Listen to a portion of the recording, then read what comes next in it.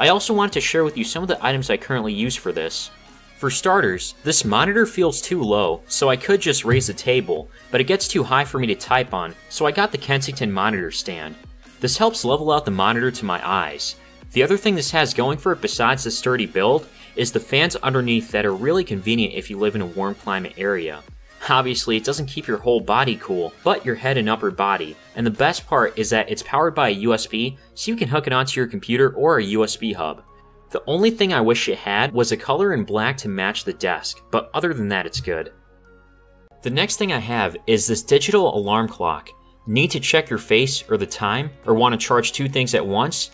This clock right here can do all of that. It can show you the time, but it's also a mirror, and the best part is you're able to remove the plug for a moment if you want to fully use the mirror without losing the timer settings, since there's a small battery inside.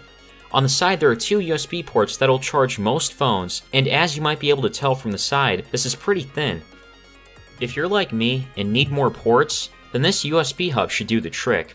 There's not much to say besides it being nice, compact, and having fast charging capabilities, but unlike the other devices, this needs to be plugged into an outlet. If you need even more ports than that, then here's this battery pack. I'm just kidding, sort of. I keep this battery pack next to me because it can wirelessly charge my phone, and I can take it with me on the go if I need to, keeping my phone charged. It's a 10,000 mAh battery with two other USB ports along with a USB Type-C port.